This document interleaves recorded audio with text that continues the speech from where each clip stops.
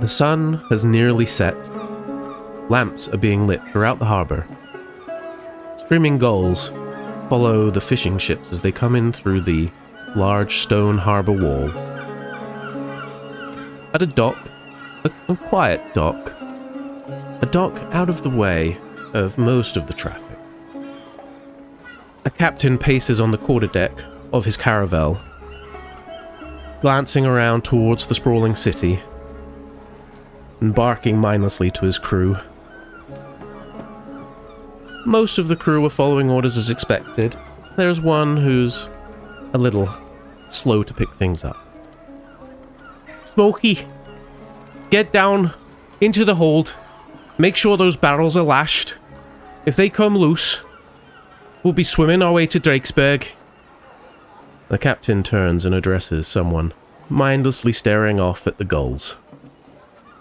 See, see. Shake of the head. Captain gets back to pacing. It's too many variables. Too many variables. Captain mutters to herself, running her hand through her dark curly hair, and sighs heavily. Everything all right, Cap? The first mate appears, a green-scaled, uh, rather lithe dragonborn I don't like taking on these new folks, you know how it is. And now, look, Rolovar's just not paying enough. We need to go have a word later.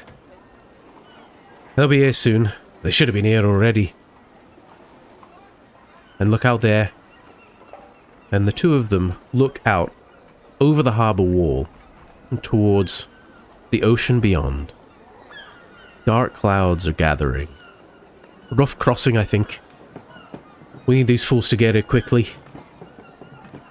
No sooner has the captain said this than they turn around and see walking towards them the most conspicuous attempt at being inconspicuous that they've ever seen.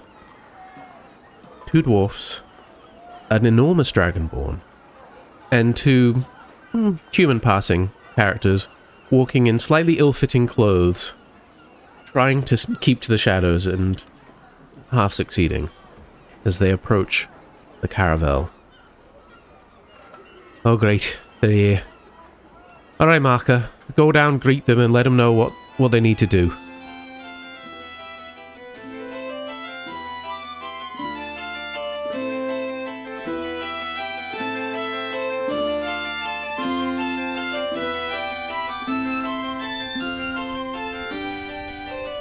Hello and welcome to Fables from the Pickled Quipper. This is a lightly edited 5th edition Dungeons & Dragons live play homebrew campaign. More specifically, welcome to Episode 1 of Season 1, Drakesburg Ascendant. The story picks up with a group of adventurers known as the Hand of Aegis as they travel to the recently appeared island city of Drakesburg. For more information on how we got where we are, check out Season 0, Drakesburg Rising, available in full on YouTube right now. Let's return back to the docks in Delzimmer and join the Hand of Aegis as they ready for their journey. The Hand of Aegis, which is to say Eska Cossette, Claire Bahrdur, and Silvarius, are headed to the dock to meet up with Captain Adard, who is providing transport to the uh, curious city of Drakesburg. Uh, they're currently in the dock of Delzimmer, and are making their approach. And as the five of you travel down, you do see a green dragonborn waiting for you uh, beside a, uh, a ship that is in the final stages of preparation. And it's the 29th of Marpenoth. Thank you. Yes, I hadn't made that note here. It is indeed the 29th of Marpenoth, right around sunset.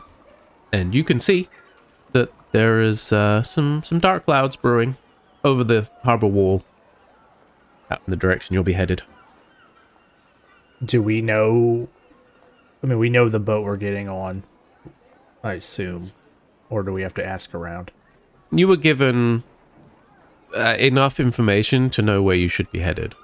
And actually, as you approach, you notice that most of the ships at the moment are coming in. There's not a lot that seem to be prepping to head out. You you know that this is the, the likely ship that you're looking for, and you see uh, a, a fairly gruff looking uh, Dragonborn there waiting. What is the Dragonborn adorned in? very practical looking leathers. They're built very differently to to Silvarius. Silvarius, I imagine, being very sort of uh, tanky. He's he's Whereas- swole. He's swole. Big, what it is. yeah, big beefy He boy. is well. Uh, this other Dragonborn. Well, firstly, it's unusual to see Dragonborn. Um, but yes, green is even less common. But they they're also built very differently. Uh, sort of, they have wiry muscle, and uh, yeah, they're just sort of standing there next to the uh, the gangplank, arms crossed, one foot tapping slightly. E- Eska eyes this dragonborn warily and uh, hangs back. And Silvarius's eyes narrow at the sight of the green dragonborn. But he doesn't slow his pace in his uh, approach. Uh, as you get close, he says, "Oh, "Uh, right, hang on. Who are you?" Who are you? Look, I'm, I'm the guy with the boat. You're the guy on the dock. I need to know who you are. And we know the name of the captain we're looking for? Ah, yes, Adard. Okay. Silvarius's gaze looks away from the green dragonborn. He looks out kind of towards the sea. And You're looking for Captain Adard. Okay, but who are you? His eyes go back to the green dragonborn. And he repeats himself. We are looking for Captain Adard. All right, look, one of you others speak, because I'm not getting anywhere with this fella. I just need to know your names. You don't talk to the captain, you don't get on the ship unless I know who you are. It's that simple. Fetch the captain. I said, you don't talk to the captain and you don't get on the ship unless I know who you are. Seriously, please, someone else talk. And um, as he says that, you see like uh, green drool just sort of forming in the corners of his mouth a little bit. And there's a there's a very aggressive a posture to Silvarius. More than his usual social aggression. Uh, Eska will roll her eyes and poke her head out from behind Silvarius and just say, Eska, I mean, if you have a collective name, I can work with that. But you can go on board, Eska. Claire's eyes are darting back and forth between the two dragonborn, and her face is obviously um, looking a little panicked. She kind of reaches out and uh, grabs the edge of the the tunic that Silvarius has bought earlier, and just kind of starts tugging on it a little bit. I'm sorry, sir. Um, my my name's Claire, and and the rest of us we're we're the Hand of Aegis, and we're sent by Rolliver, and and this is Silvarius, and I'm sorry for him, but um, No, it's it's it's all right. It's all right. And his face just softens when he looks at you. You're not responsible for him. It's okay. I get it. I know how they can be. Hand of Aegis. Why didn't you just say so? And he gives like just a a very unfunny smile towards Silvarius he says that. Right. Follow me onto the ship. He turns without looking to see if you're actually following and uh, walks on board. Claire's gentle tugging of Silvarius's tunic turns into more of a shove. And her face gets a little red, and she stomps off after the other dragonborn. Silvarius just lets out his normal guttural. Takes big heavy steps following. Well, that went well. I'm sure that was the hardest thing we'll have to do getting into Drakesburg. Smooth sailing from here. I'm just kind of hanging back and looking around to see if anything is uh, uh, going on. Basically, if anybody's keeping an eye on us or anything like that. Uh, make a perception check. First roll. it's not first history. roll. Ooh. Hey! Oh, See, see, I rolled a 28. Natural 20. My character knows what's going on. I don't. and that's what counts. Yep. So you you look around the dock behind you, where you've come. Uh, you see plenty of people milling about. You see some like urchins kind of looking like they may be trying to steal some of the uh, food that's just been brought in. Nothing that concerns you personally, so you're fine. You turn back around to look towards the ship, and then some movement catches your eye beyond the ship. If you imagine uh, where Bardora is right now on the dock, it's it's a walk up slightly to the ship. And so as you're looking up towards the ship and sort of like looking at that, there's um, a single mast in the center of the ship. As you look beyond that, you see the high stone harbor wall that encompasses most of the dock. So the dock you're at right now, it's kind of on the uh, south end of the docks, docks which face east. You're at like the southern portion, uh, and the harbor wall comes out, runs from south to north, uh, and there's a gap sort of at the halfway point for ships to pass through. You know, the idea is that it mostly controls the amount, of, the impact of, of the waves inside the docks. On the north part of the harbor wall, but right at the end. Bearing in mind this wall is sort of 20, 30 feet high, you see a large, say, red paw painted onto the wall. Probably 10, 15 feet tall. And uh, you do see some figures standing above where the paw has been painted. Does it look like they've they're doing anything with it? They're a little far away to be sure Okay. at this stage. Um, they just are in the vicinity. Where it's located, you're gonna have to, you know, the ship's gonna have to get pretty close to it on the way through, uh, through the harbor wall. Does that seem familiar? that symbol? I'm not going to make you roll a history check for this. it looks exactly the same as the one that was painted near the south gate in South Delzimmer. Um, the one that Claire, I believe, identified as the symbol of Malar. Who is the direct enemy god of her god? So bad news bears. That was one of his nicknames, yes. Oh, okay. Yeah. Are you going to uh, follow up and join the others? yeah, once I imagine you're the last one at the stage. once uh yeah, once everything looks okay and we're not being tracked or anything like that. Okay. Marka, the uh, Dragonborn, kind of like basically holds you kind of midships where the mast is. And uh, as you look uh, to one side, you can see a uh, halfling standing up uh, at the, the wheel on the quarterdeck, who, having seen you arrive, heads your way. Right, now, don't get lippy with the captain, alright? Let's just basic fundamentals on the ship. Captain's word is law.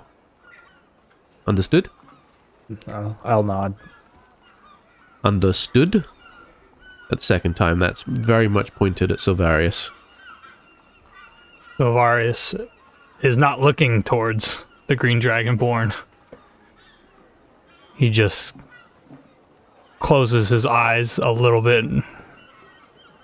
When he opens them back up, he looks over to him uh, out of the side of his eye and he just gives this real small nod.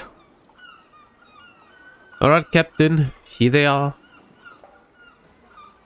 and uh, you see you see the uh, rather uh, stout halfling uh, climb down the stairs and uh, head over to you guys.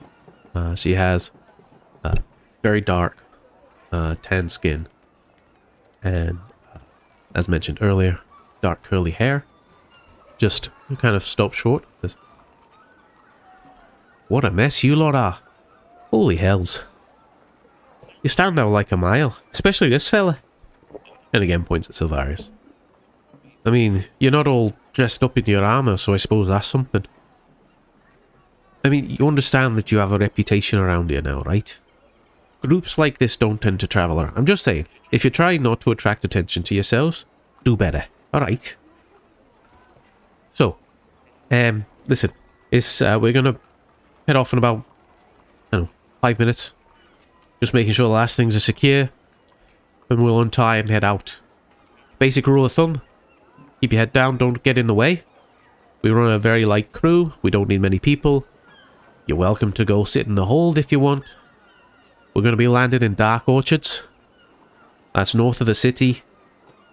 From there, you can just head down, follow the river, and go in through the north gate.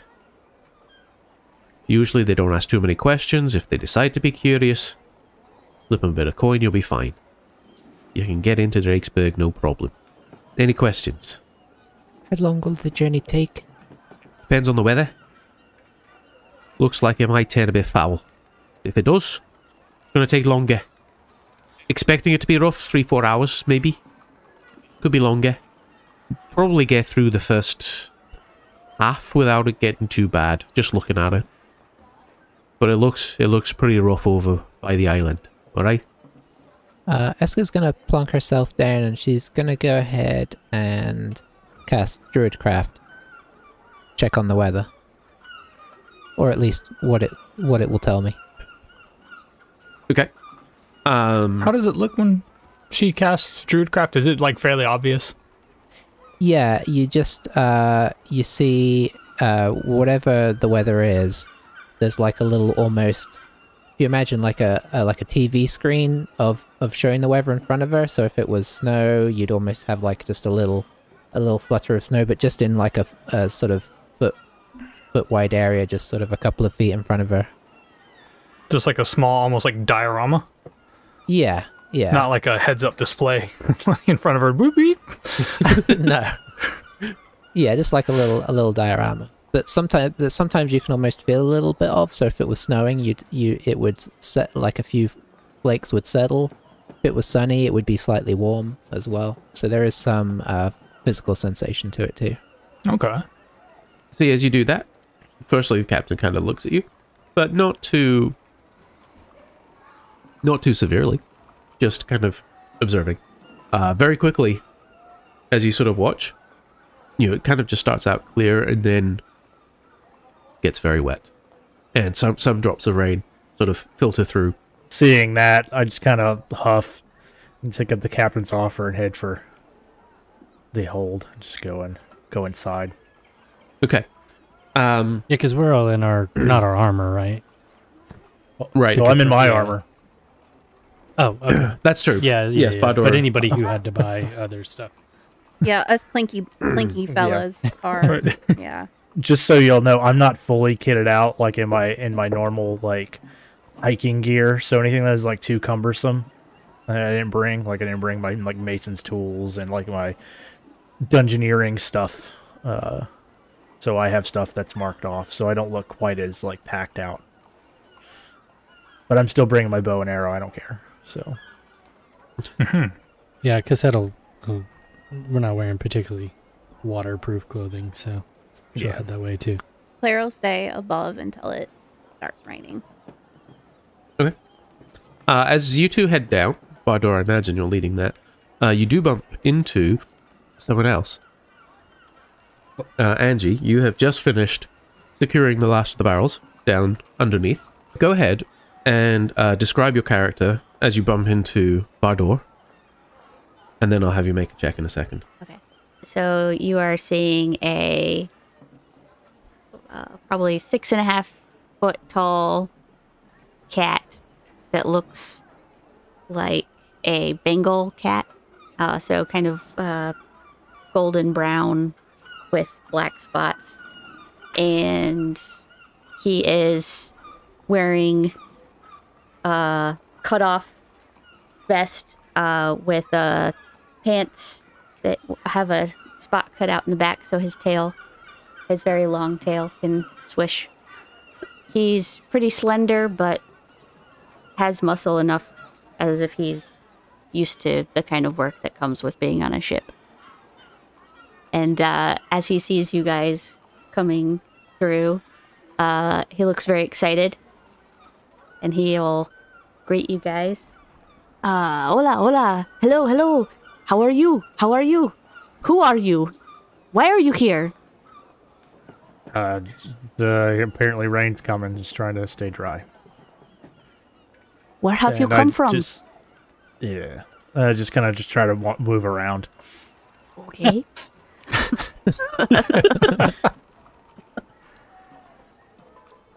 I see, I see. Doesn't want to talk. He meant to say hello, and we're we're the the passengers. Uh, I'm assuming you're part of the crew. Uh, yes. Yes, I am. Uh, well, uh, luckily we won't be be with you long enough uh, for you to have to get used to him. So don't worry about it. Oh. Oh. Well, I'm sorry to hear that. The captain mentioned that it would be a, a bumpy ride. I, I don't really have much experience on boats. Uh, what uh, what what would that entail? Oh, you know, just the usual uh, swaying back and forth and uh, I was worried about that. occasionally some water might get in, but it's okay. We take care of everything. Okay. Um. Well, I'm Cossette. It's it's nice to meet you. Um, and he'll uh, eagerly like come forward and and and grab do, do the the two hand the you know two hands uh, over uh, one hand handshake and eagerly shake your hand yeah, the one that you never plan, but it always just happens in this. Well, uh, yeah, uh, yeah. N- nice to meet you. And, and what was your name? uh, i am I am Smokey Uh, like, uh, like a fire? Like, see see yes okay. All right. Well, it's nice to meet you. Uh, do you have a place where maybe we can um get co- as comfortable as we can? oh sure i show you where you can go and uh, i'll lead the way wherever that's supposed to be She just kind of turns Uh, back to the group and kind of does like a shoulder shrug, like. "Mm." Yeah, I imagine this sort of happened like right where you kind of head down. So there's just like this weird awkward meeting sort of like in the in the, the doorway essentially. The Bahrdur's already gone. Not that he knows where he's going. Um but yes, you can you can uh, lead Cossette down, and essentially, um, below deck there's the main hold area where you were lashing all the barrels, and then there are a few um, hammocks that are set up between some of the the struts. Uh, there, there's not a lot down there really. This is a, a ship designed for relatively short journeys.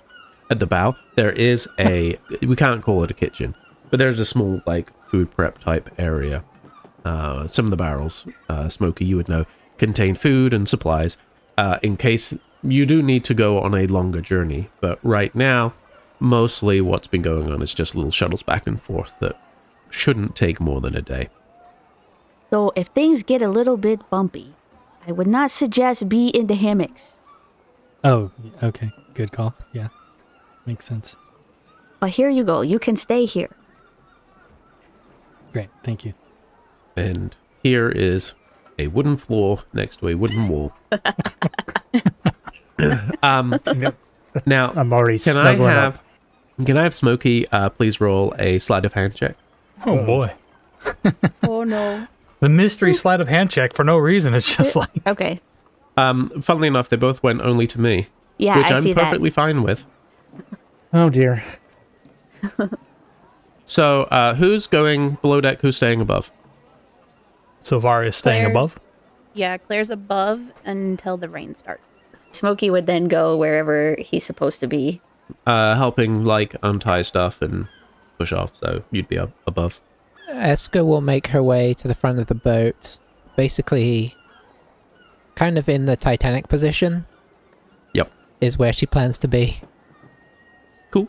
Uh, okay. So badly want to Um, say Savaria scoots up behind her.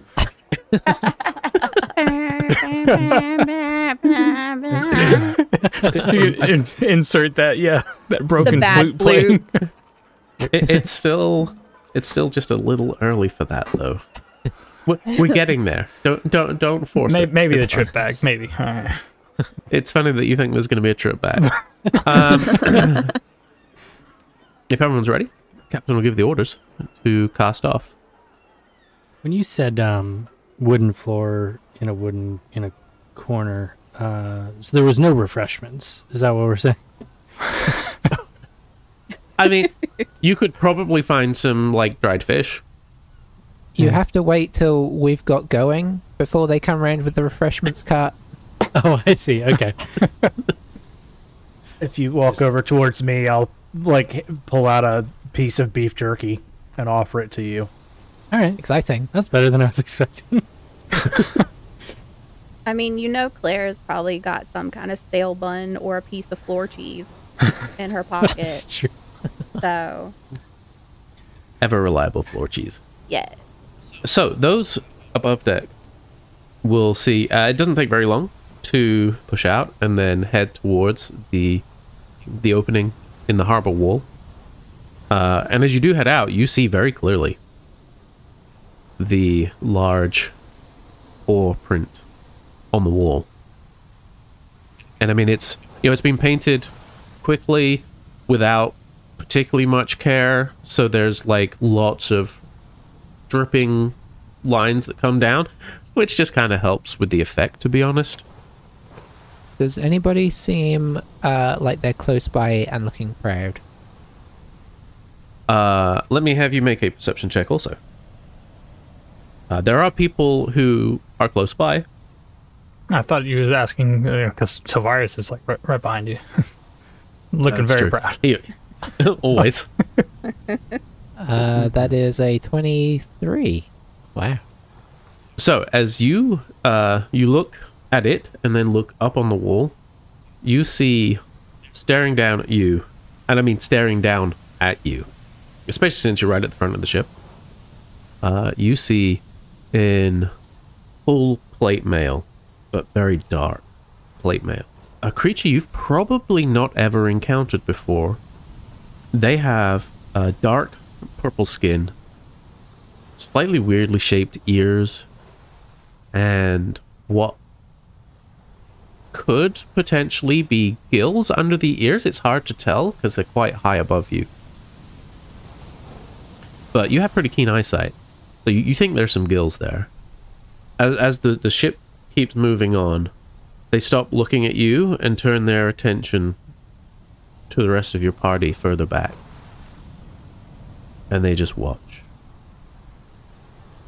We're not close to them, right? Particularly. No, I mean, so the the the harbor, the like the the gap in the harbor wall has to be wide enough for some pretty big ships, and you would have been on the south side anyway, so you're probably closer to that southern portion of the wall. So, I mean, you know, with a, a longbow, you could shoot them probably, but I mean, it's not like they could just jump down on the ship or anything. I, I guess I just uh, keep an eye on them until I can't keep an eye on them. Okay. Uh, as you're sort of passing, like the front of the ship is going past the wall, you do see a moon elf walk up alongside and just whisper something in the ear of this unknown creature. And he just nods. Once. Eska resists the urge to jump off the ship and swim back. Just about. The rest of you would have seen probably the uh, the paw print. Claire honestly probably would have been hyper focused on just the symbol. Um, Mhm.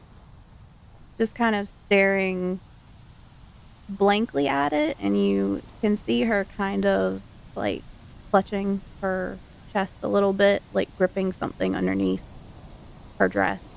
Everyone that would have been with her would know that she wears um, one of her holy symbols on a chain. So she'd be gripping it from underneath her dress, and you just see her her lips moving just barely under her breath, just whispering uh, a prayer while she's staring at the symbol. And remind me, uh, did Claire explain any of this to us prior? Yeah. Okay, so we are aware of Yeah, I think the entity. If I remember right, she explained who Malar was, kind of what he, like a general idea, I think, of what he represented, Mhm. and that he was kind of a direct opposite to, like, the the house of um, goddesses and stuff that she worshipped. Okay. Her gods are kind of like chaotically good fae energy, so Malar would kind of be the opposite of that. Smokey, you would definitely clock the guy um, standing up on the wall. I also am pretty confident you would know exactly what it is. Uh, you would know that that is a Triton Hmm. without any question. It is surprising though, because you are not accustomed to seeing Tritons in somewhere built up like this. You wouldn't normally expect to see Tritons in the trappings of regular city folk. And this guy's in like big plate mail and standing very like confidently on top of the wall and it just it it all feels wrong. He'll just kind of mutter, "That cannot be good." But eventually, the ship leaves the harbor and out to the open waters. In front of you, you can see on the horizon your destination the island city of Drakesburg. The high walls rung around it, and you can see uh, to the north on the edge of the island just the hint of light, probably uh, some larger fires that are burning in some small settlements. Uh, it does take a while to travel. This is not a very quick ship, and the wind is not necessarily very kind. But you are at least within, already within visible distance of the island. And for now, it hasn't started raining. So there's lovely. so, for the first hour or so, let's say, does anyone do anything? Uh, want to talk to anybody? Am, am I by myself? Or Just with Barbara? oh, well, So essentially, you are by Man. yourself. can't. Our riveting conversations through the. You Course look of our around. You can't even see Bahrdur. That's true. I don't even. That's probably true. There's there's lanterns down okay, there. then. Yeah. Okay. You you just see some beef jerky floating towards you. Why, yes, please. we essentially just have an unseen servant without actually having one. Yeah. Who doesn't actually serve? No, You have an Un- unseen. unseen, yeah. an unseen. Yeah. Um. Ooh, question. Hmm. Uh, Silvarius. Hmm. Um, Kedox. What's the status with Kedox? Do you remember? So Kedox is probably um is the top of this ship fairly visible from mostly or you said there's a center mass coming out like uh, the middle of it, right? Yes. Kedox is probably up on that and just monitoring the top side of the ship and um, keeping an eye on anything that kind of changes. So, like the captain's probably being the captain. If the Green Dragonborn comes up, Kedox is keeping a close eye on the Green Dragonborn. Um, Okay. Smokey and, and uh, yeah, just if it's uh, anybody that's not the Hand of Aegis. Gotcha. Um, for the most part, um, once the ship is clear of the harbor, um, the crew have it pretty easy. There's not a lot of work that they can do. Um, the captain is at the helm. Um, first mate Marka is there too. Um, there are a couple of other crew that you see building about in addition to uh, Smokey. Make a uh, make a perception check for Keto. Okie dokie. 16. So what Kedox does see, um, after about uh, an hour, hour and a half, uh, say an hour and a half, on the uh, port side, yeah, I remember some things. Oh, for our viewers, not your players, what side is the port side? Uh, that's the left. Aha, see? I knew that. The only reason I've remembered it is because they both have four letters. I needed that That's clue. the key. Yeah, that's how I remember it too. So on the the port side, um, about an hour and a half into the trip, Kedox alerts you to uh, weird activity on on on, on the port side. If Kedox alerts me of that, no, Kedox is actually going to fly down there. Very good. As Kedox flies down there, uh, what Kedox sees is um, there's disruptance in the water. Is that a word? I think that's a word. that was disturbance and disruption merged. Yeah, it was a couple Um, words. It was pieces of words. There's disruptance in the water. But it turns out to be a large pod of dolphins. You would guess 20 or so that are just swimming alongside, breaking uh, the water alongside as the light has mostly gone at this point, but not completely. And he just takes note of that. Are you sending him back up? Yeah, Kedox will fly back up, and um, Silvarius, he'll, he'll his eyes will return to his own, and he he is going to because it's starting to get a little more stormy Uh, yes. Uh, well, you can see it up ahead. up ahead. Uh, it still hasn't really um, had any impact here yet. And it- does it look nasty ahead of us?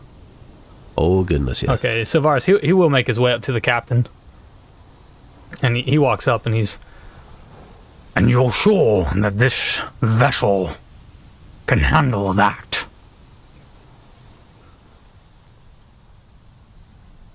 Oh yeah, no doubt, no doubt. We've been doing this sort of stuff for years. That's that's uh, that's nothing. How does Probably.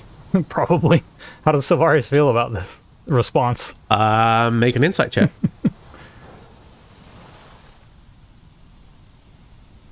Uh, Twelve. it is not always easy to read people from such different walks of life. Uh, as such, you're not really uh, you're not really sure quite how uh, how much of that was just banter and how much of that was legitimate concern. He's feeling enough confidence from the captain's response. Um, on the inside, he's this is a different experience for him, uh, heading into a such a storm. But as you uh i mean you you have quite a nice view now because you, you you will have had to have climbed up the uh the steps to get up to that that quarter deck where the helm is. Um so you can now see nicely across the the full length of the ship. Um and off to the left uh you can see occasionally one of the dolphins. They're, they're a little closer to the ship mostly but there are a couple who are sort of still in your line of sight if you look over that way as you do look over that way, uh, you see some more disturberants. as as does Kedox. All of a sudden, one of the dolphins gets projected five feet into the air by a large. Well, there's a head and a neck that reaches out and grabs it chomps very hard and then drags it down under the water. Does Eska notice this at all? I just want I'm and I'm I'm mostly kind of just gazing out in front. I just wondered if I'd noticed the noise. Uh, let's make a perception check. I will. I won't say with disadvantage. Uh, I don't think the wind is bad enough yet, and still no rain, or little rain. Uh, it's gonna be a ten. Um, I don't think you would have heard that. Okay. Uh, uh, Smokey, can I also have a perception check from you? I think you're probably still milling around up top. Um, at the moment, uh, I have uh, Cossette and Bahrdur below deck. There are a couple of crew down there with you as well, who are just chilling. 24. Uh, so you definitely would have heard that noise. Did I did I see anything or just heard it and th- then it was gone by the time I looked? Uh, roll me a percentile dice. Okay. Um, I will say you are closer to that side and therefore would have had a chance to get a glimpse. Yes. At what, so what I saw is that something that is normal? No. Okay. that was a big head. I mean, it just took a dolphin in basically one gulp. Okay. So his eyes would just go bug-eyed, and he would just look to see, uh, look around to see if anybody else saw what he saw. Uh, you would see Silvarius staring over there. Silvarius is actually, he's got his hand pointed out and he's uttering to the captain, And what about that? Uh, Smokey would quickly make his way close to them Okay. uh, in in wonderment. Uh, okay. I'll tell you what. Let's go ahead and we'll, we'll make this a little bit more straightforward. Let's just plop you all on over here boat map. so you you can see what's going on. So, uh, currently, I'm afraid um, Bahrdur and Cossette, you are not visible because you are below deck, along with a couple of crew. Uh, Severus, you're up on the quarterdeck with the captain and first mate. Uh, Smokey, you are on the port side. Eska, you're up in the bow. Claire, you're just kind of milling around in the middle there. Um, I would say right now you're the only one who hadn't declared a position, so you may declare a position. Yeah. Um Claire kind of like when she saw the um symbol the first symbol that little bit of like just sparkle that she normally has is just gone. She would have just been um she probably would have posted up somewhere along the uh the railing of the boat, just kind of leaning on it and looking out over the waves, and just generally looking just depressed. Gotcha. Okay. So that's where everyone is at this moment in time. Uh, the captain says, uh, "What about what?" His eyes kind of like white over real quick, and Kedox starts flying down towards the uh, the access to the underneath. Uh, he he tells him in his mind to go tell the others below deck, and uh, he says to the captain, A very large head just ate a dolphin. That's not good. Don't say. All right. Uh, I guess brace for impact or something. And um, you see, uh, Marka um, moves towards the very uh, back of the boat stern.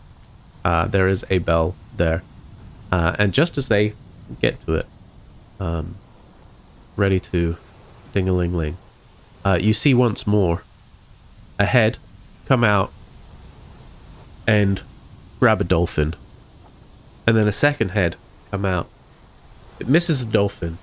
Then it looks at the ship. And you see malice in its eyes. Um, I'm going to need uh, everybody, please, to roll initiative. Oh my god. No, thank you. Uh, I even, reject this encounter. even us who are un, in the below. Uh, yes, you please uh, roll initiative. Silvarius, six. 21. I, I've got 18. 13. Six. 23. Nice. Oh, Nice. it is Marka. Okay. Are any of the other people on the ship happen to be called like Olo? Ola. or- You can only find them if you call out for Marco. Yeah. You guys, you guys are the worst. I like to think that Polo walks works the other end of the ship and they have to talk to each other a lot. Um, can you give me one for Kedox, please? yes, I can.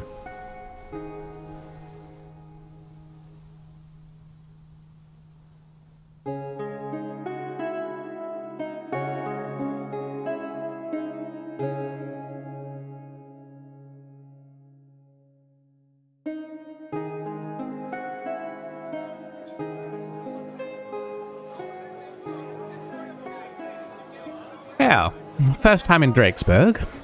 I suppose I can give you a little lay of the land. Uh, if you value your coin person life, I would suggest staying inside the city walls. The Drakes Wardens and their weave worms have no jurisdiction beyond the gates. The worms are those giant lizards with the big fin on their backs. Do not aggravate them. If it's shopping you're after, then Drakesburg has it all. The finest crafters and artisans from across Faerun have set up shop in the city. If you have a discerning eye, then stick to the South Walk or the District of the Elements. Ah, I see by your face that you are looking for less bespoke and unique items. In that case, there are plenty of vendors in the streets surrounding Drakesport and even some near the light docks. If you're more interested in the sights, then obviously you should take in the Wormspire. It's the towering castle at the center of the city, home of the potentate and his advisors known as the Caucus. The other major attraction is the eerily floating palatial mansion, the Cloud Lodge. It drifts over the large park in the District of the Elements. I have sadly not yet had the pleasure of visiting it myself, but I'm sure the invitation will arrive any day now. Uh, unfortunately, I think it's becoming clear to both of us that you are not my usual standard of clientele, so I suggest you leave my store and head for the docks where you will feel more at home. Good day.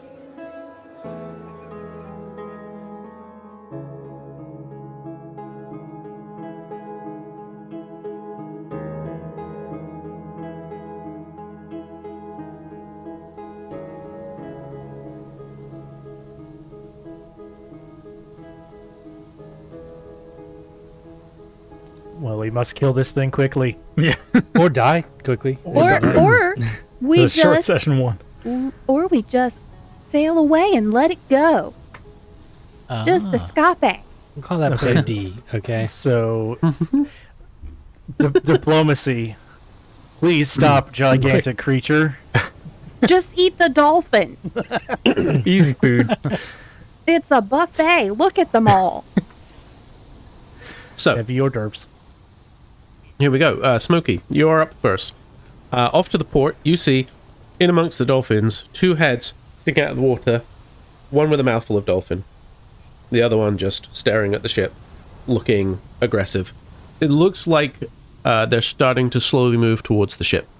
They are um, large uh, reptilian heads with uh, some spikes on them and big fangs and stuff and they, they are of a uh, creature that is uh, green in nature.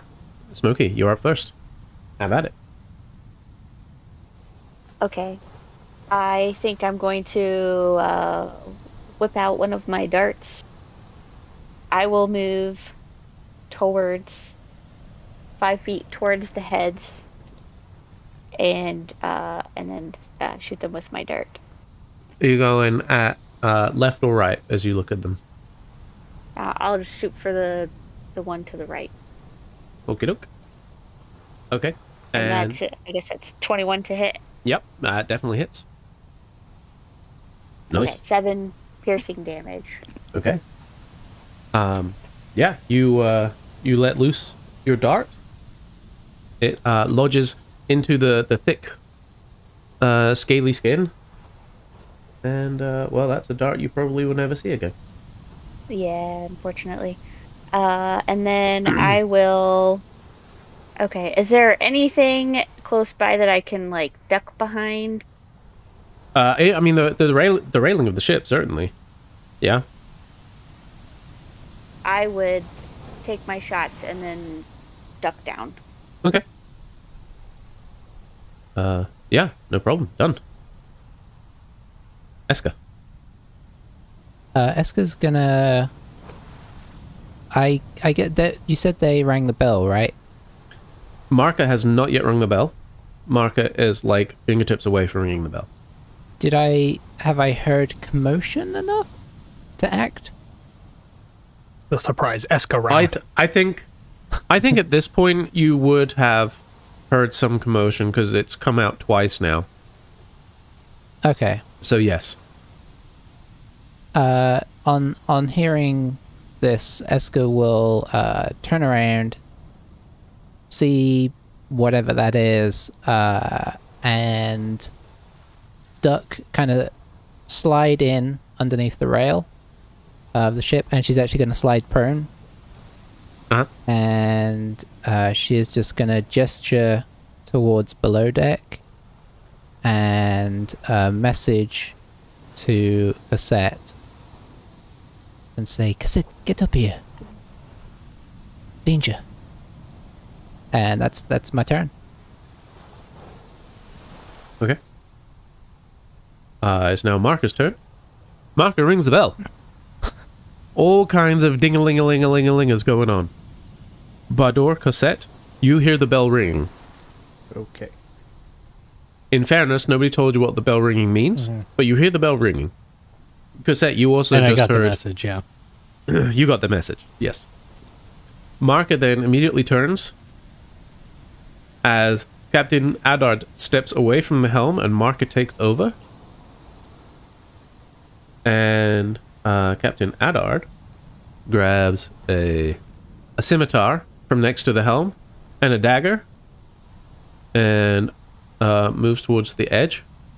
Just looks down to everyone and uh, says, All right, defend the ship and we'll get you there safe. I will say, Bahrdur and Cossette, below deck, you see uh, there are two, the, the two other crew that are there have zero interest in going up right now. Do they look scared or lazy? I'll give you a free insight check. Free meaning I don't have to roll? not, that's not what he meant. Uh, 15? That's not what I meant, mister. Uh, you think they look very scared. They look able bodied, though, right? I mean, they're part of the crew, so. Yeah. Okay. Yeah, they're, they're not they're not useless. Just you know, uh, choosing to uh, stay there. Okay. Uh, Bahrdur, Am I up? you are currently below deck. Okay. Ke- uh, did Kedox come down too? I thought I remember hearing uh, Silvarius say something about sending Kedox down to like warn us. Uh, oh yeah, that's a good point. Um, he would have had time to get down and appear. and freak out, maybe. Just a like little bit? yes, screeching like uh, like something is wrong type of a. They haven't Yeah, discussed so this before, gonna- but it's definitely like so the combination of Kedox screeching, a, a bell going off like crazy, and Yep. the crew down below looking scared. I guess I could put together that something's going on. Yes. Okay. group I'll insight check. make it- yeah, history check. Okay. Um, let's do this. All right. So I'm going to. So this is the first. Turn, well, where where where are we located on this sh- on this ship? So you can get to sort of like the the exit with a, a regular move With it. from below deck. Okay. Um, you can just about make out the heads. Uh, I would imagine you do a quick scan as you come up, and you would see lots of people pointing over to the port side, So would I be able to and you can you can see the two heads. I could see them from there. Yep. Okay. So Uh, With my like in the first uh, turn, uh, because of the dread ambusher, I get an extra ten feet of movement. Uh, so uh, yeah, I'll go up to the edge of the of the ship. Uh, do I have any height issues with that? uh, no, I mean it's not like it's a solid, Okay. um, a fully solid edge anyway. There, there's there's viewpoints if you needed one, but I mean it's not too. You're you're fine. Okay. You can find you can find a, a vantage point. No issue. Sounds great. All right, what I'm going to do here is I'm going to cast. Uh, I think I'm going to cast Hunter's Mark. Um, all right, I'm going to roll to attack uh, Mhm. with my longbow. I don't think that hits. It's I rolled a 12. You did. Uh, the first shot goes wide, harmlessly into the water. Raspberries is what is obviously what what he says. Um, I'm sure. yeah. Uh, let's see. All right, let's try again. Tw- 28. Uh, 28, all kinds of hits. All right, so it's uh, nine piercing from the bow, and then six additional from Hunter's Mark, Yep. Okay. and then again, uh, 22. Oh yeah. and that's eight Big. eight piercing and four from Hunter's Mark. Okay.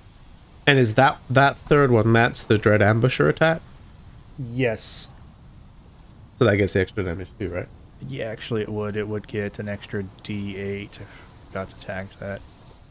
Five. Hmm.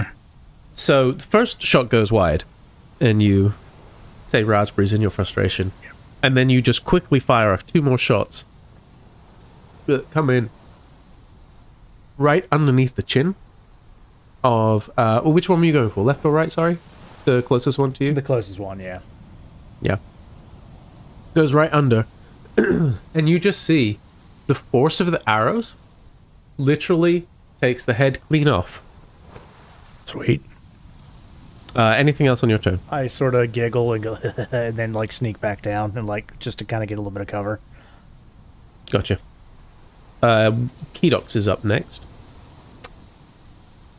Kedox is currently uh, flapping around underneath. What would you like Kedox to do? If the alert has been successful, he would fly back up and maintain just uh, an aerial um, circling kind of of the. Uh, uh, we'd keep it kind of close to the boat, actually, um, scanning the water. Uh, Claire. Oh boy. So yeah, I guess hearing the um bell go off because she was oblivious to everything beforehand. She'll turn around kind of confused at first until she sees two giant heads and then darts and arrows and everything else suddenly being hurled across the boat at it and um in in true fashion she's gonna squeak and a firebolt's gonna come out of her hand Uh, is that a nine to hit? I get think- yeah. I guess that's the way it rolled it. Yeah. So true fashion. yeah. It uh yeah. There's a. As it hits the water. Uh, Silvarius. Not going to miss out on any of this. He takes a couple of steps forward to the side, extends one hand up, and starts to do some gestures, uh, uttering a uh, incantation in Draconic, and summons forth a ray of frost. 19 to hit, or six cold damage, the white just sort of briefly spread out across the the neck of the well the neck that's attached to the remaining head it sort of reels and and cries out uh cossette Excellent. Uh, you I, I don't. I, I missed it. Did the the two crew members do anything? When Bahrdur, uh no they're they're, they're cowering pitifully um, can I yell at them to come with me? Um make a persuasion check Okay. uh, or intimidation Your Mm, choice. Yeah, she's wearing a dress. Um. Yeah, intimidation. Yeah. Get up, you lazy fools. But she says it kind of like that. Uh, so uh, that was a five. They don't appear to be moving right now, but we'll see what happens on their turn. Okay, uh, she'll save her attack for an enemy instead of kicking them. Um, okay, she'll run, I guess, run up to on deck. Okay. Uh, you get that far with your move. Okay, can she? You are you're on the below portion, not the top portion. Like you're on the the main deck. Okay. Um, can she see if the see what it is now? Oh yeah, big green head. Still there, even after Oh, yeah. Is it? Okay. Oh yeah, yeah. it's yeah. just a little Um, bit colder. yeah. Maybe 10 Yeah, feet slower. a little, little nippy. Let's see. I'm gonna cast bless on. I'll do Bahrdur S. Oh wait, hang on. Range is 30 feet. I can't do Eska. Uh, I'll do Bahrdur Silvarius, even though I didn't see that horrible attack. Uh, oh, I guess it did six cold damage. Um, sorry, Claire was the one who missed. Yeah, I'll do Claire S- Bahrdur. Sorry, I wasn't up here at the time. Uh, And it is it is in character for her to always miss that first firebolt. Mm. uh, I'll do. When they start hitting, it's relentless. I'll do Silvarius, Bahrdur, and Claire. Um, Very on my way up, did Oh. I pass any barrels, or uh, do I see anything like maybe a box, crate lid, or something like that on deck? I know I did. A, You're looking. I know I already did a, a skill check this round. So if I, if, You're looking for a shield like? yeah, like even just a wooden something. I would say yes. You would have definitely passed uh, like a, a barrel lid Some that you could have just box. grabbed on your way past. Yeah. Okay, all right, she would have done that. So you, we can say you have an improvised shield. Cool. And uh, yeah, you see the green head slowly move, very slowly move towards until eventually it reaches. And then you see it for what it really is. As it clambers out of the water and climbs up onto the edge of the boat. Uh, now, currently with one head, you see um, there, there's still kind of two necks, but there's only one head.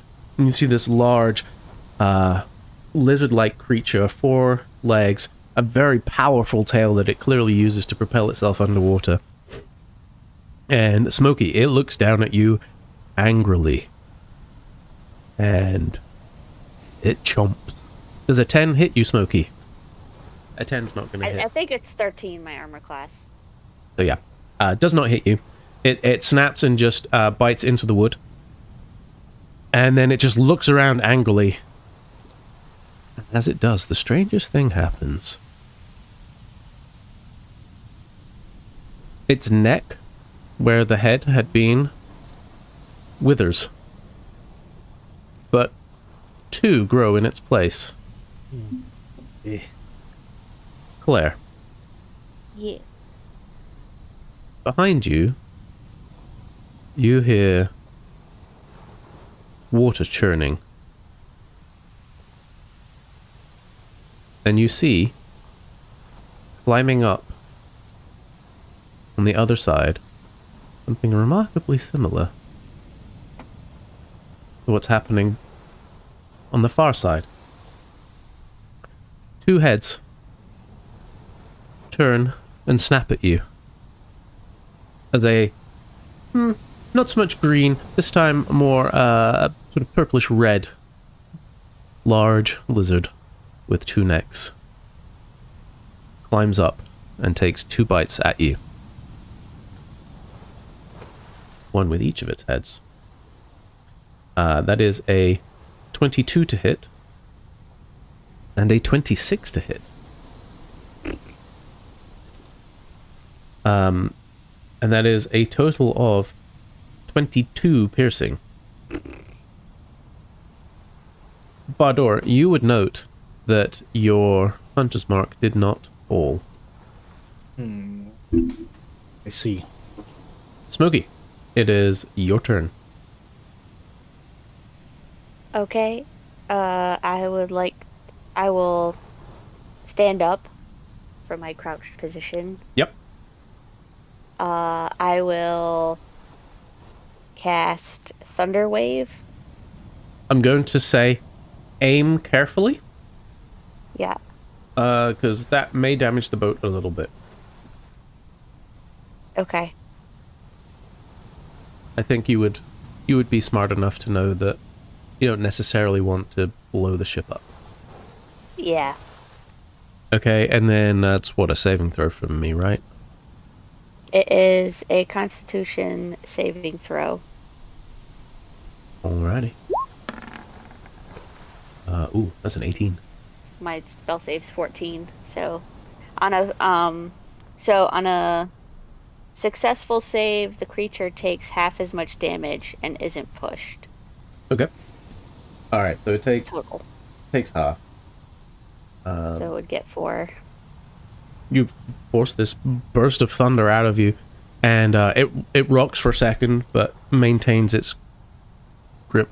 You know what? Let me confirm that. Does it maintain its grip? Yes, it does. It maintains its grip on the uh, the boat. Uh, right now, both of them sort of have their front uh, their front set of feet uh, up right on the um, the the railing. Are they in melee? They're in melee range of me, right? So if I tried to back up, they'd get an attack of opportunity. Uh, you would surmise that, yes. Okay. Um, and in fact, looking at it this close, you think that um, they have quite long necks and probably reach more than you can. Okay. Um, I will just stay where I'm at. Okie doke. Uh, Eska, things have changed since you sent your message. Yeah, they have. If it helps, Claire looks really bad. That does actually help. um, okay, so Eska seeing uh, seeing Claire getting chomped. Uh, so Eska will uh, begin to stand up. She will grasp the uh, blue stone at her neck, and she will twin cast levitate. Uh, hang on, what's the rate? Yeah, you're in range and she will um, raise Claire up into the air, and she will raise herself up into the air. Um, Okay. 20 feet up. You don't take opportunity checks if you're uh, forced to move, right? Uh, correct. Claire, you see Eska doing something and you feel lightness start to take over? Yeah, you'll see. You'll see Eska kind of her hand reaches out, and she will she will kind of gradually lift her hand and attempt to lift you. So, would you like to let that happen?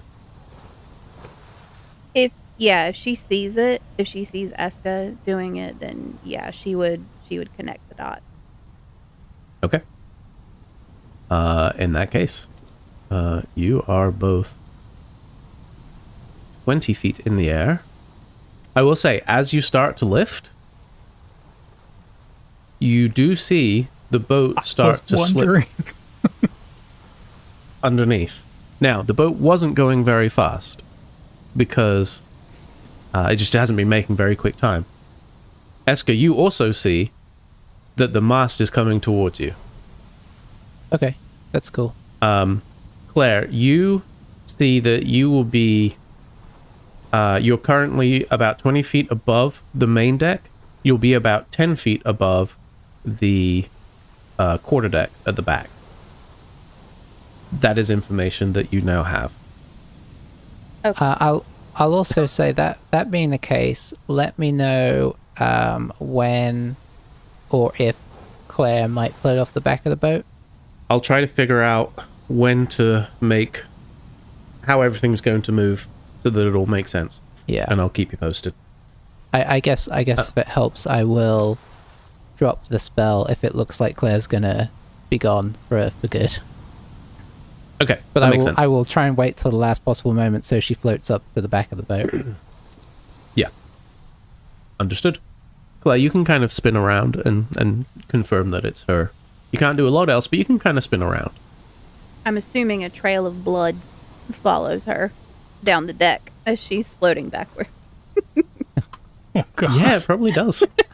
and I mean, you can see the the the creature underneath you. It's like snapping, trying to get to you, but it can't quite reach. You are just outside of its range. Um, incidentally, how high up would Kedox have been? Because I know you said he was flying around. Um, oh, 20 feet, of course. Uh, um, I I do imagine not too very high. Um, a good vantage height. So I, I do Yeah. think above. I mean, possibly Yeah, even no, I like mean, that- 30, but maybe in that range, 20, 30. That's fine. So, uh, seeing everything that's going on, um, the captain and the first mate share a look, and the first mate abandons the helm, runs to the back, underneath the bell, grabs a large, uh, what's it called, like a bill hook type thing. That's a thing, right? Sure. Yep. Is that the thing I want? You know, a, a long stick with a hook on it. And then walks out towards the very edge of the at the the back there. And then the captain quickly hurries over and takes the helm. The Cossette, you hear the sound of no feet approaching from behind you. Hmm? You suspect that your intimidation did not work. Oh, oh, okay. Gotcha. Uh, Bahrdur, your turn. Yark. Do I know what this, these creatures are? To know how to combat them? I'm afraid I'm going to have to ask you for a history check. How dare you? Or nature. I'll grant you a nature. Nature. You It's probably just as bad. Uh, it's it's it's it's better. Uh, oh, okay. I'll go with that since you were so kind. Because it's not outside the realms possibility that you know what these are, but it's a high DC. Sixteen. Unfortunately, that's not going to tell you. Okay. Um. Uh, I mean, you could you could speculate, but you don't know. Right. Okay. Well, then I'm just going to continue to do what I do. Uh, and I'm going to shoot at it with my uh, with my uh, bow and arrow. That is what you do. Yes.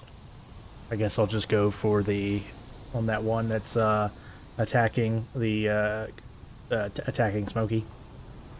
uh, natural twenty, so it's a twenty-nine. Um, Uh, the 29 hits. Uh, you you have noticed now that uh, while they do have scales, it's not the thickest of scales, so it's not that hard to get through. 29 will do it. Let's see. That's uh, the, the head. Uh, that's uh, the twenty, and then uh, what is that? Is that twenty-nine damage? Yep. Okay. Twenty-nine damage. Well, you got uh, an ally in combat with it, right? Did you already add that? Oh, there is it is now sneak attack damage that you can double. Thank you. I had forgotten about Very that. Very good. Uh, I had not rolled that. Uh, I No. will roll that. Sparta is Twice. scary. So five, Uh huh. and then two. So that would be what? Twenty-nine plus. Uh, so- so it's- 36. There you go. That would be 36 with one shot. Good gravy. Uh, remember how you said the head hadn't exploded? yes. Yes, it has. You've gone right up into the brain. And it does just. There's no way to sugarcoat that. The, the the head explodes and the neck withers. Oh, I didn't use my bless. Oh, bless it. Oh no. Let me let, Uh, just for the sake. So I hit with thirty-one. Sorry. That's quite all right. uh, uh, so you can see, like, the two heads that grew look pretty fresh. Like, the, the, the body, even though it hasn't really taken much of the damage, is looking like it's it's um struggling for to breathe.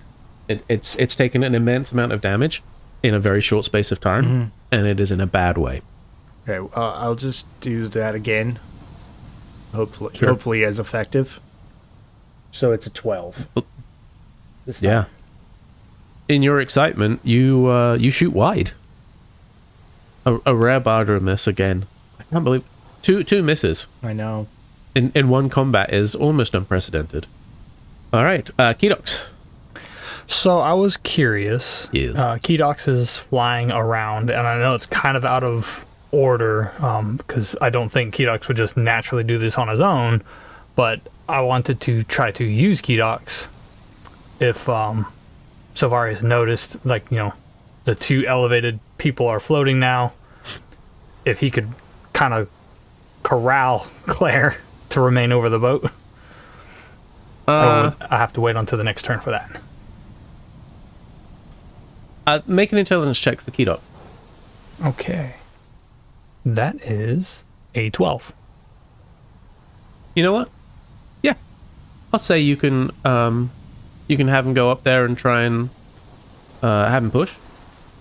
Give me a uh, strength check. Boy. Really good at these, y'all. Oof.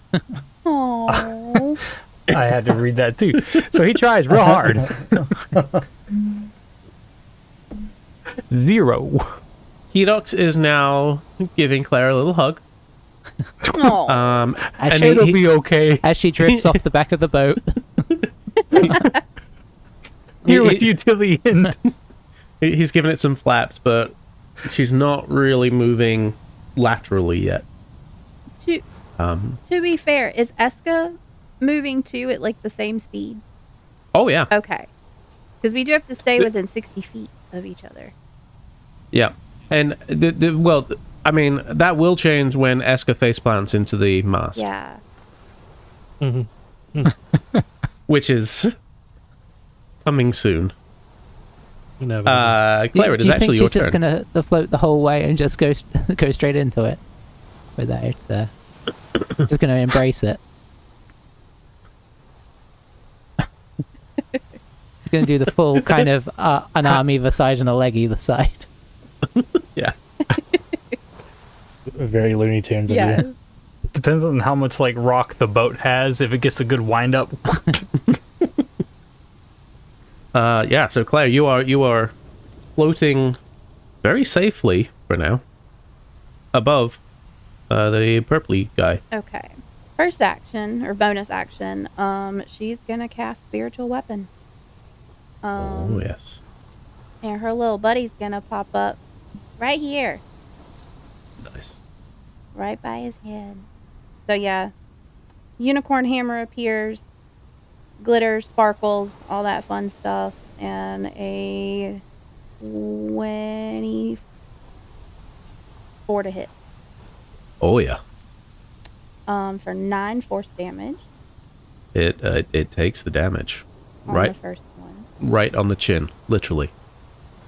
and um, feeling very um, personally attacked earlier. she she's gonna try another another firebolt to go along with that. Sure. So just slowly floating around in the air. I'm imagining like a slow a slow circle, like a slow spin, Mhm. especially with the the gentle force of Kedox.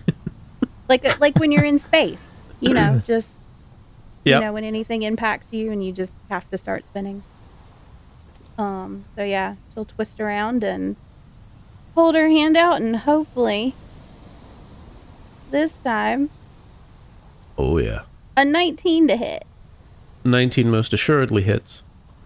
and yeah on that same head that the hammer hit will be six fire damage Okay. Um, and I will say, you you notice from your uh, elevated position, you notice with a hint of sadness, um, that this one looks maybe just a little bigger than the other one, L- little little little girthier. Um, definitely in the best position to determine that right now. Um, yeah, the, the the sizzling, you see that, and you see, um, the wounds seem particularly affected by the fire. Um, it seems to have done it a lot more harm as a result.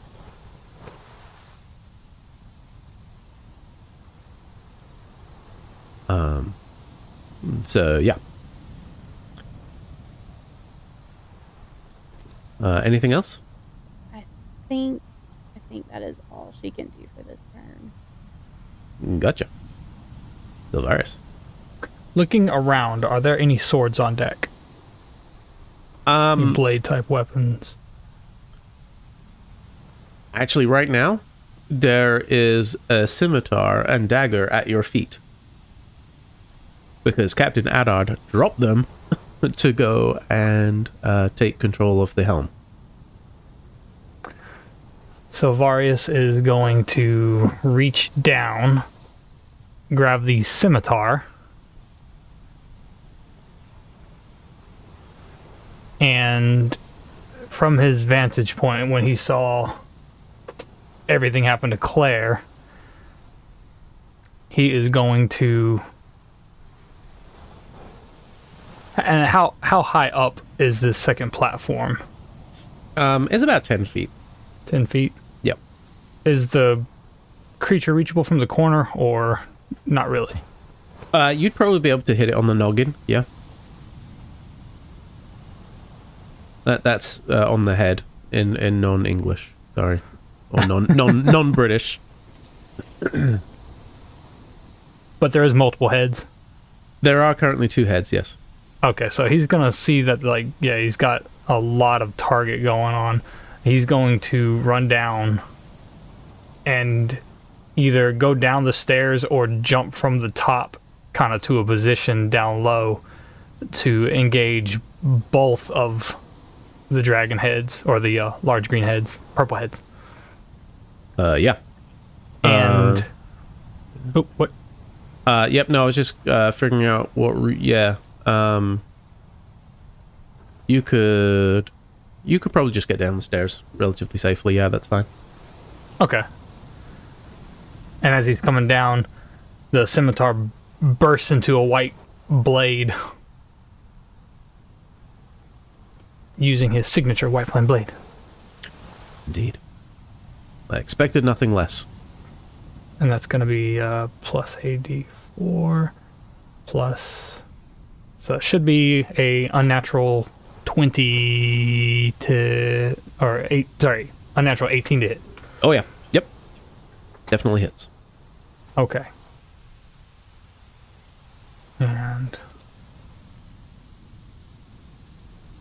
so the scimitar is 1d6. Yes.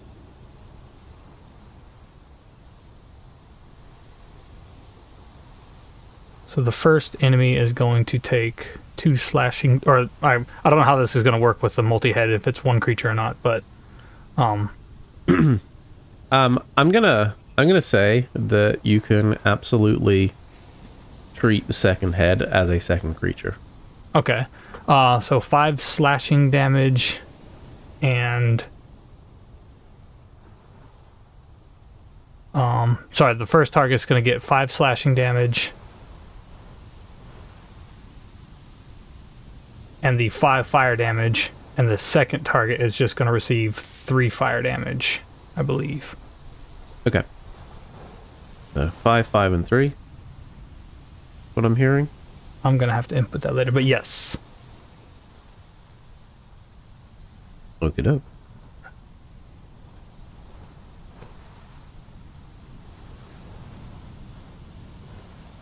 Um, you see just this white flame just erupt all over uh the the creature's necks, and it it roars in pain. Um, it is currently you the the, the heads or the heads and necks look burnt, but they're still staying for now. And then he's going to say, And now that I've got your attention, he's going to action surge and reach out his other hand and try to shock and grasp. Oh.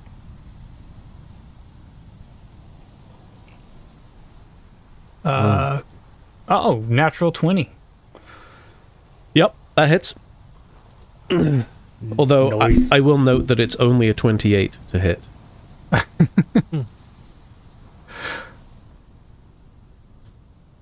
There's a, a funny picture earlier. Does a 28 hit? Um, Liz will have to find that. Uh, and how much uh, damage? Uh, uh, 14 lightning damage. Okay. Um. You grab hold of one of the necks, and just the the lightning courses through, and runs up and down the length of the neck, until you feel it go limp in your hand. As you look up, you see that actually you're now holding the neck and the head is starting to fall dangerously close to you. It's no longer attached to the creature. And you can see where the neck attached, the amount of uh, burning and like the tissues just all like cauterized and scarred where the neck used to be.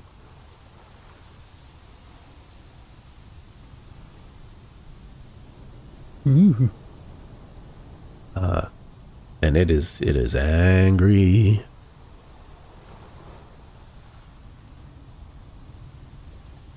Okay, and that is my turn. Okay. Uh, Cossette. What You- was the other uh, weapon that was dropped? Right at the Um, so there is scimitar and what? uh, there's a dagger, but is it is on the top floor right now. Oh, okay. I just okay. Yeah, you're you're like emerging from underneath the the top floor essentially. Okay. Um, and I didn't. I, I kept looking away. I've been looking for a while, but I guess I didn't write it down. I, I don't remember what my AC was with the the new, because I know I got the like cloth padding or whatever. yeah, you got the padding. I didn't armor. change it on my character sheet. So, do you happen to remember? It would probably be the same as Claire's. Probably. Did you Um, change yours? Hmm, sorry, what? Liz? I was looking at my spells. What were you asking? No, the uh, the armor class. I I didn't change mine. Did you change yours? Um, yeah, it's an el- padded armor is an eleven plus deck. plus deck. The twelve. Okay. And then Does that sound right? yeah, yep, that's and good. then does the shield give me maybe one instead of two? Shields give you all shields give you plus two. But No I have matter a what lid their of a box. Maybe. No- Did I get one? I- I'll I'll give you one for the the lid of a box. Okay.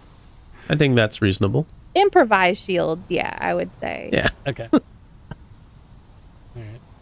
better than a a, a giant scaly head with a head. Uh, Yeah.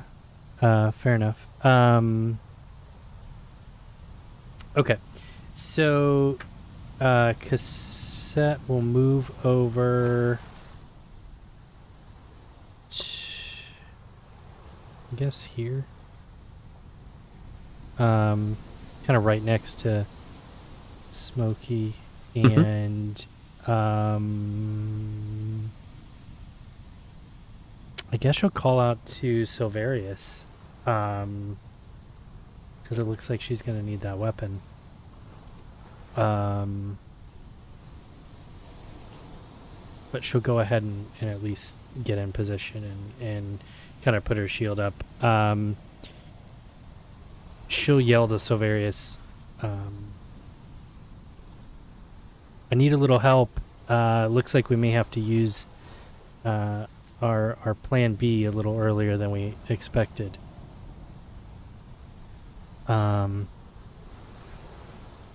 I I don't know that I have.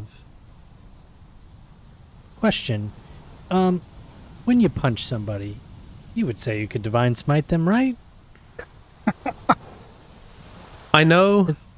I I think in theory, Only with the you're back of not your hand. supposed to be able to smite because it's not a weapon attack. But that's nonsense to me. You can absolutely smite in my game. To be fair, I, and I this is copy and pasted, but it does say when you hit with a melee attack. I don't think it says melee weapon attack. Oh, well then absolutely. Punch and but smite. I, am not looking at the rule book. Um, all right, so I'll just try an unarmed. Maybe I'll, I'll uh, use the improvised shield to kind of get some weight behind it and uh, Oh, even try better. to hit the. Am I close enough, or do I need to move up one? You would need to go one more. Okay, I'll do that then. Uh, and I'll do an improvised weapon attack. I don't know what that uh, does. I'm just gonna roll a d20 and. Uh, Uh, roll d20, add your strength, but not your proficiency. 'Kay. I don't think. Oh, you're fine. all right, 14 on the die, so 19. Uh, yeah, 19 hits. What? Uh, I will use a spell slot to um to cast uh, divine smite. I'll do divine smite. Yes, you will. Uh, go ahead Oh. and roll your smite damage. Okay. I'm not buying time. That's ridiculous. Uh, oh, 10. So 10 radiant damage That's a lot. plus the splinter damage from that wicked shield. Um. Uh, roll d4. One splinter Oh, damage. well. Yeah, well. Um, yeah, you you uh, bop it right in the snout. Uh, uh, uh, you know that one's nose, right? Yeah, yeah. Okay, just checking. Sometimes you just don't know what transfers over. Um, and uh, yeah, you like you you hit it in the nose, and then just that burst of energy, and it recoils, and then both of its heads just go and stare at you. Yeah, yeah, I was afraid of that. And she holds up the now kind of starting to get broken shield, like, eesh. Okay, uh, that's all I got. Uh, all right, it is uh, it is their turn. Um, yep that that one is going to look at you, and it's gonna snap at you twice. Yeah, shocked. Oh wait, I get an extra attack, right? Uh, oh yeah, yeah, you absolutely do. Can I just swing the? I'm just gonna. I'm not gonna. Uh, just gonna swing the. Uh, sorry, I forgot to play this game. Uh, twelve to hit. Uh, that does not hit. Okay. Um, you you miss as it it's still sort of recoiling, and you you you aim where it was and not where it is.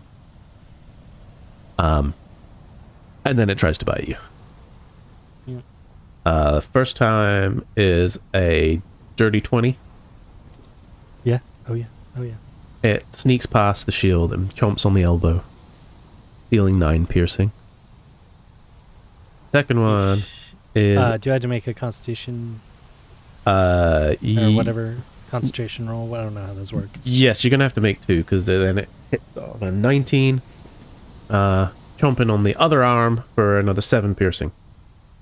Uh, so yes, two uh, uh, Constitution saving throws. Okay. And what do I do? It's just. Uh, Uh, the first one you get the benefit of the bless though. No, you don't. You don't have bless. I, I didn't bless myself. Carry on. Uh, Yeah, just go and save.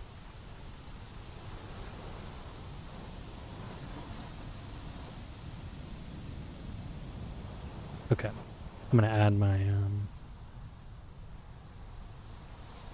Uh, yep. And yep. Cool. And I I do get to add my aura protection, right? So I would add.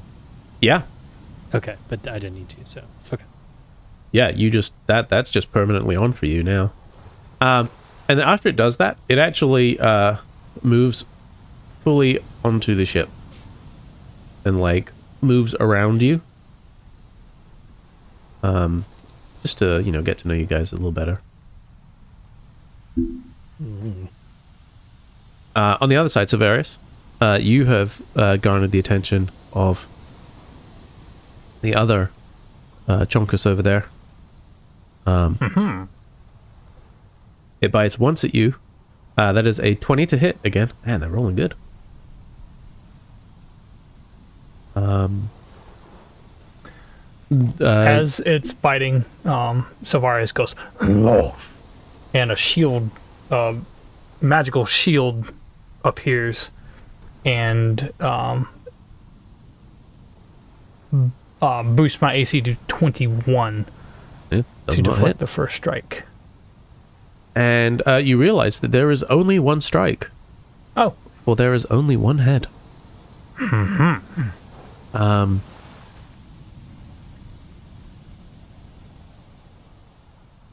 And that is their turn. Now, at this point,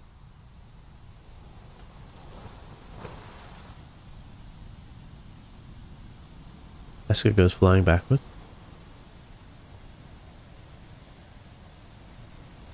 Claire and Kedox go flying backwards. Somehow I managed to move them not properly into the square. There we go. As the ship continues forwards at a relatively sedate pace, all things considered. Um, Smokey, you are up. Uh, the creature standing next to you has two heads and is looking um, like it is. Its breathing is very labored. It is struggling here. Okay. Uh, Smokey is going to cast Primal Savagery. He's going to hiss, and his claws will sharpen, and he is going to deliver a corrosive attack. Oh, God. Um. So, as, because I'm level five, it would be two d10 acid damage. Uh, yes. If I think you still have to roll to hit for that. Uh, in this case, I just roll a 20. Uh, yeah. That would be twenty plus your proficiency and your wisdom. So 15. Yeah, fifteen hits. Okay. And then we do. Two d ten acid. Yeah. I don't know that. You know, I just don't see many druids. That's why I don't know people who take this. I just Because it realized. says it's, Yeah, I've used yeah, it it's on typically, before. It's cool. it's it's typically 1d10, and then on the bottom of the spell Hmm. it says this spell's damage increases by 1d10 when you reach 5th level. Yeah.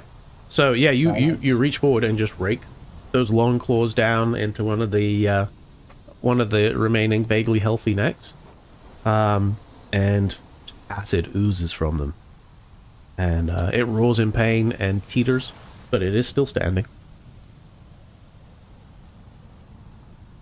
Um, and then uh, that's all he's gonna do. Okay. Um. Oh, Oh. Yep. if he does that, uh, could I pull out in preparation for my next turn? Could I pull out my scimitar, or Oh, yeah. is that an action? No, you can do that. Okay, he's gonna do that, and and then I'm done. Okay. Uh, Eska, you are about 10 feet from the mast. It's closing. Uh, do I? Does does it feel like if I prepared myself, I could just grasp onto it?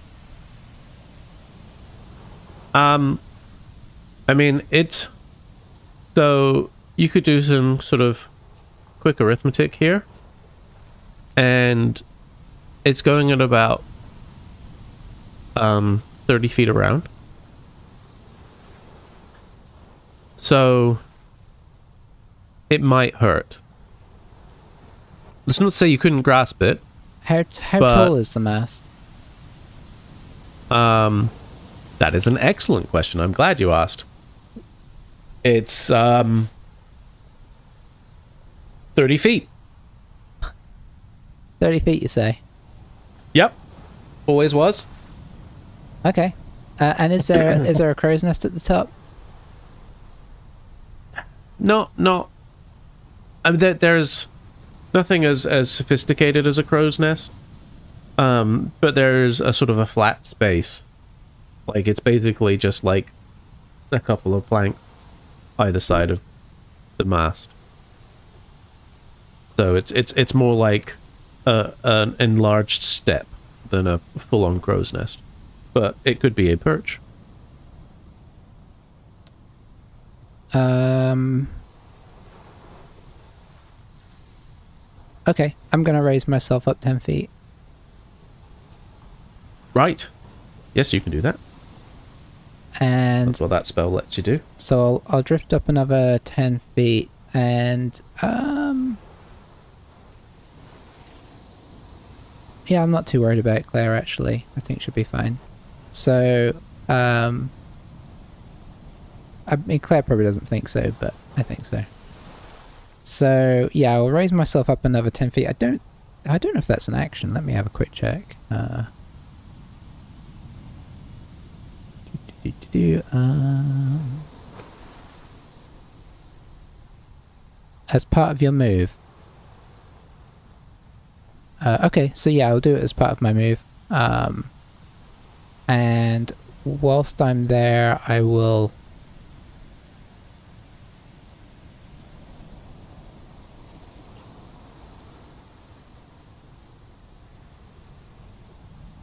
Shoot out. Sorry, gotta get my... Oh dear, the screen's different over here. Stop doing that. Uh, okay, I'm within 60 feet. Uh, which one looks rougher, Um, if I had to guess? so there's two ways of assessing that. Sure. The overall physical condition and the number of heads. Oh, the one at the bottom's just got the one head, but maybe looks yes, better. the, the one on the starboard looks to be in, yes, finer fettle, but only has one head. Um, whereas the one close to you has two heads, but is struggling to stand. Uh, I'll go for the one closer to me, and I will just uh, gesture down at it, and uh, frost will begin to ripple up my arm and out of my fingers, and I will cast frostbite at it. Okay. Um, I don't even know if I've done this before. Uh, let's see. I don't remember that happening. You So it's a usually save for range you just have, you know, um, the bow. a bow. That's the word. Uh, so you have to make a uh, save. Uh, con save. Uh, Yeah. yes. Con save. 15.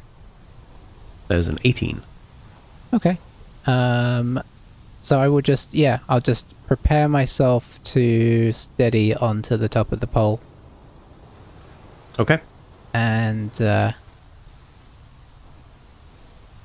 I will say to, uh, Claire, don't worry, I'll get you back in a moment. I'll sort of shout that across the boat to her, in case she seems, in case she looks worried. I imagine she does. Claire, make an insight check.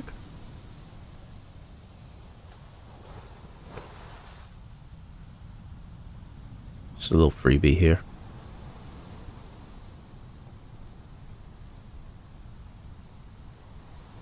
And Um, I mean, you've been traveling with Eska for a little while now. You you you feel like she means what she says, but you're not hundred percent sure that her timeline and your timeline agree on the urgency and stuff. So, you're not as reassured as you could have been. Yeah, I'm not. I'm not going to cancel the spell. That's also part of the reason you're not very reassured. Um, all right. Anything else for Eska? Uh, no, she's just preparing. If if Okay. if you were gonna give her something to do in a bonus action, it's preparing. Gotcha. Uh, so uh, over to the crew. Uh, Captain Adard actually, um, realizing what's going on, does try to um, steer the ship slightly to assist. Uh, and you see uh, Marka has the what we're calling a, a, bill hook for the purposes of it needed a name. Um, has it held up? Uh, Claire, you think that you could probably grab that um, you could probably grab that now. Uh, and by now I mean on your turn. Um, but it, it's it's actually pretty close to you now. The the between um, Marka's long arm and the the large stick thing, you you can probably grab it. Um, Noted. Panically noted. Eska raises her up another 10 feet. Claire screams. No, I don't think I can affect your movement. Um, well, maybe I can, but I didn't. You can. you, you could have as an action, yeah. Yeah. Oh, it's an action? Okay, yeah. Mm -hmm. Yeah, I, I don't know. Um, Bahrdur, you're up. Okay. More shooting. Yeah, Schusting.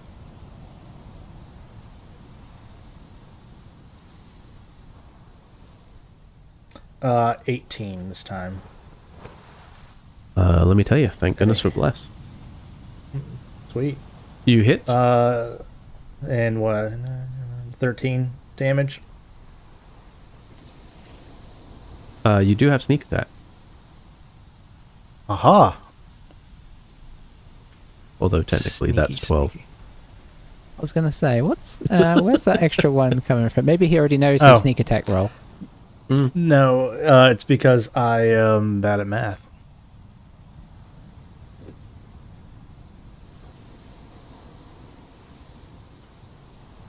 Uh, so Um, 15.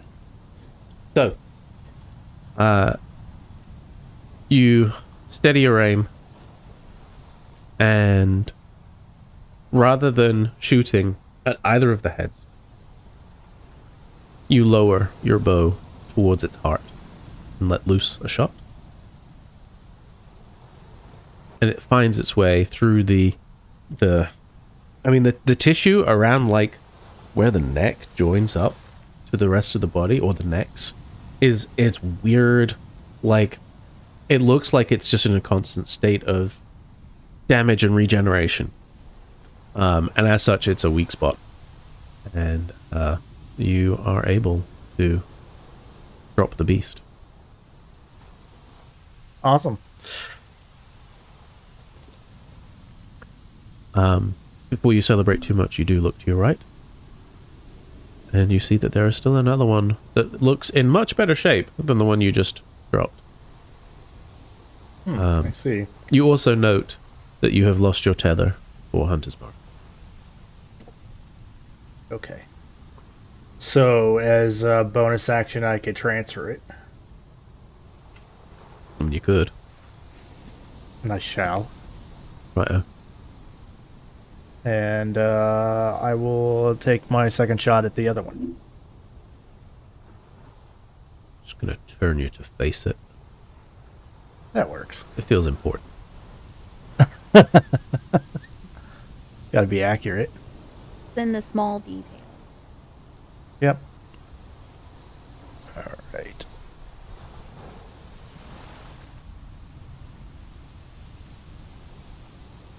Uh, 28 to hit. Yeah, that that hits. And uh, let's see. 15 damage.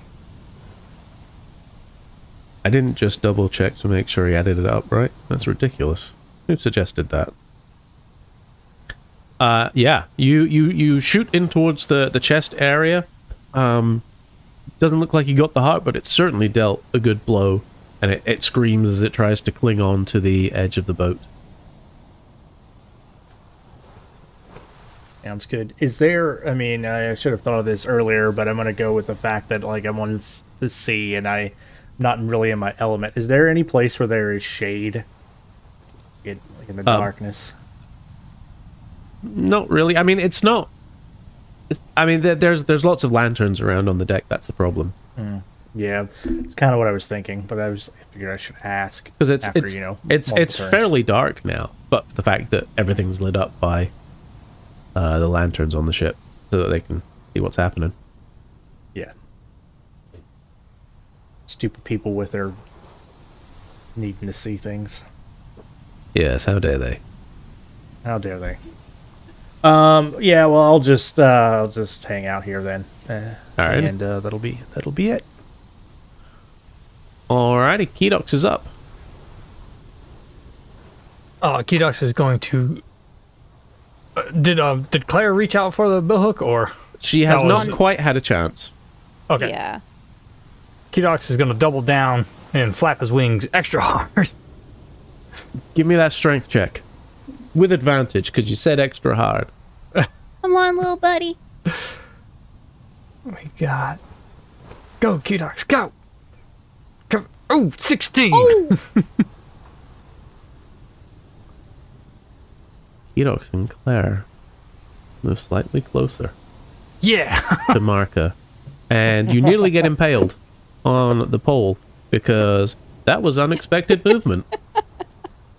That was not anticipated. But you do not get impaled.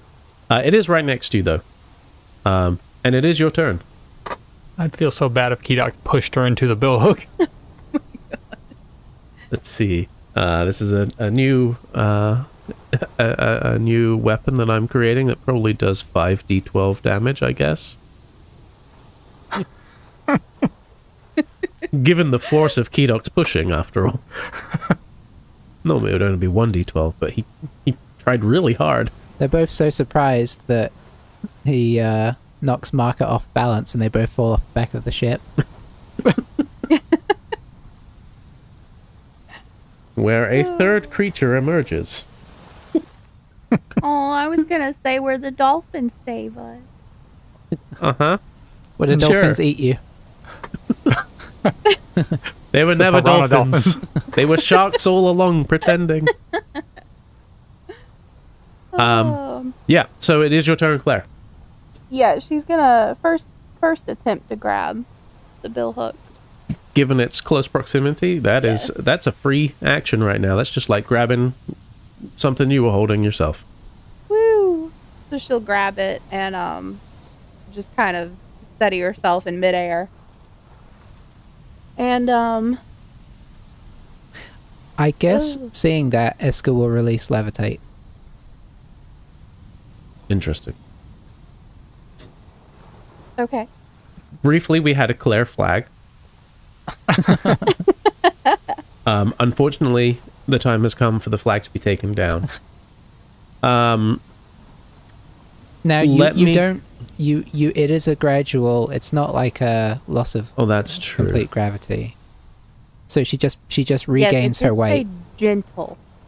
Yeah. Okay, I, I I will say that you can guide yourself down uh, to the ground. Um, I'll just briefly sort of detach Kedox from you. So yes, you can you can guide yourself down gently.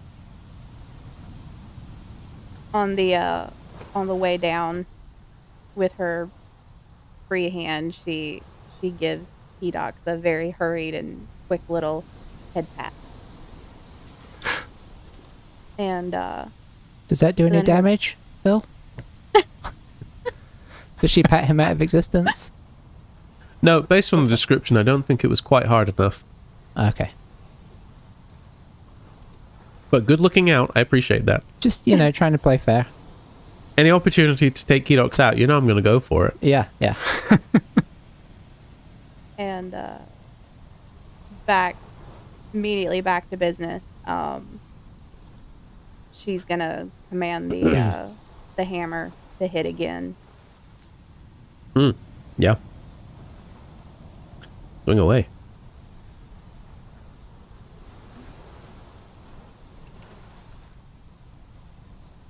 Good gravy. for a 28 hit Yep. for six damage. And then um, good old one two punch again. Uh, she's gonna hold out her hand and try casting another firebolt.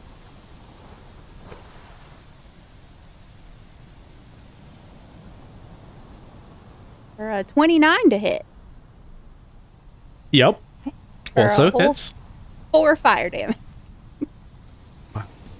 Um, the the creature screams. I did not care for that. Not one little bit. Uh, she didn't care for that 20 something damage either. So, Yeah, that's fair. yeah. um, it is uh the the skin is turning dark. um. Yeah. Okay. Uh, Silvarius. So, having heard Cossette cry out for the weapon, or the plan B, he's going to just say, right. And he whips his hand out, his free hand, and as he does, there's um, a quick frost forming, and it zips to the point of his hand, and a, a light flash, and the flail is in his hand. And he's gonna try to, if I can, he's gonna toss it back to Cossette. Uh, yeah. and um, if there's no uh, skill check involved with that, he's going to, if that didn't take up my action, also come back around with the scimitar erupting again into a white flame blade. He's going to try to rake it across the beast. Uh, go ahead and make your attack. Okay. Also, while he's doing that, Cossette could say like, "I'm, I'm coming." If he, if she sees it manifest in his hand, um, since they're going kind of right around the same time, if that's easier. Gotcha. Uh, we'll see what happens. This will be entertaining. Okay. uh, holy crap! You're rolling so high, everybody.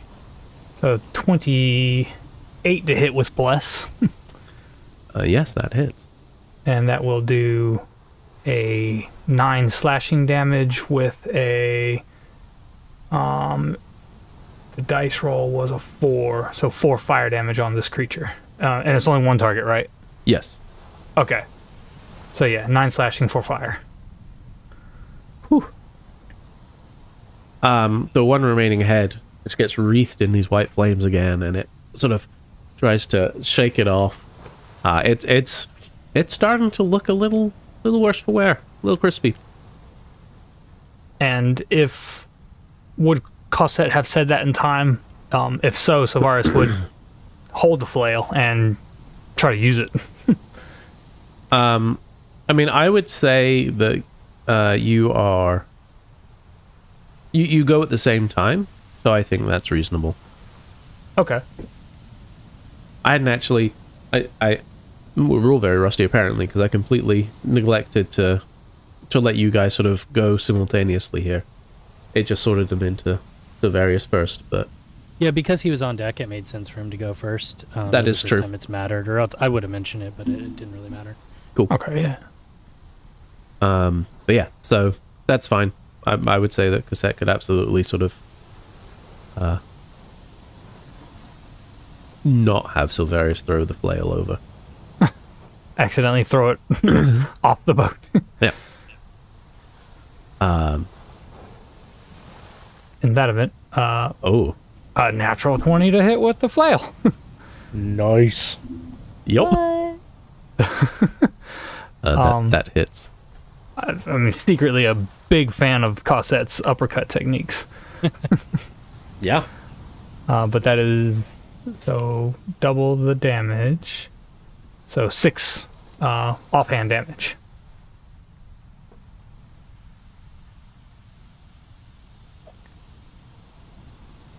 Okay. Yeah, no, it didn't like that at all.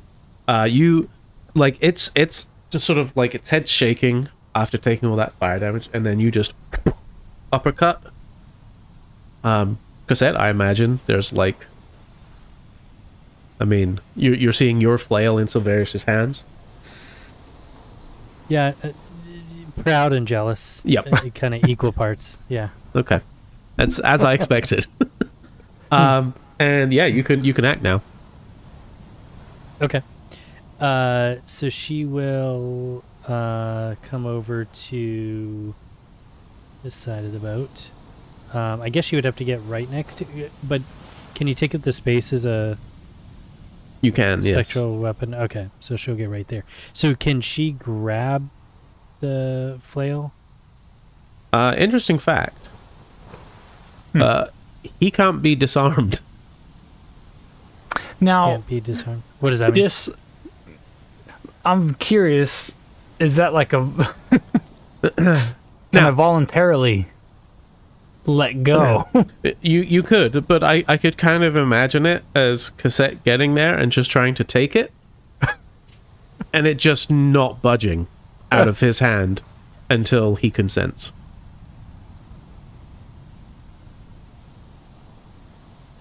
So she goes to grab it and pulls, and it it Doesn't budge doesn't move. unless he releases deliberately. She looks at him and pulls again. Doesn't He say looks- anything. Doesn't ask nicely. he looks back at her and he looks down at the weapon, and he just like realizes, oh, let's go. Um. Okay, and she gives like, him kind of like "Take a like a you know what you did, but we'll talk about it later. Look, um, and uh, I get. Does that take her action though? No, no, no, that's fine. Okay. All right. So we'll do uh we'll do an old fashioned. Um. See, Show him how it's done. Come on. thunder totally been stolen now. So. um. She'll just do a, a regular uh, kind of uh, uh, horizontal attack. Um, okay, this uses the same stats as. I mean, this is the same thing. It's just a s kind of a summoned version. Same It- it- stats as the flail. It, it is the flail. It's your okay, flail. gotcha. I gotcha. Okay, It, it's just wasn't being sure how that worked. teleported across the uh, multiverse. Gotcha. Um, awful roll. Uh, twelve total, which I don't think hits. It does not. I not. tried that before. Uh, and then I'll do extra attack. Yep, Jeesh, thirteen. that does not hit. Yeah. Some somebody should have done an uppercut. She uppercut. is so mad right now. You hear from right beside you. Not your best day. She just exhales and ends her turn. Um, having just narrowly twice avoided being hit by a flail, the creature turns and looks at the source of this wafting, jingling mess and bites at Cossette. Damn it. Under the impression that that's where the damage came from in the first place. Normally she'd be right.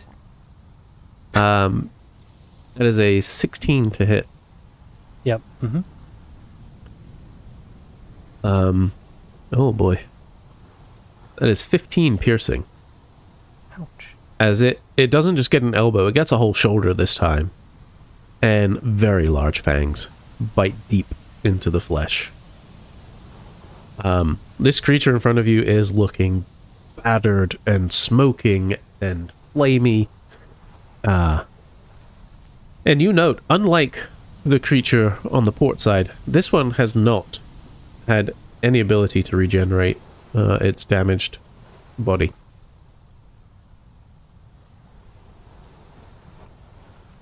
Smokey, it's over to you.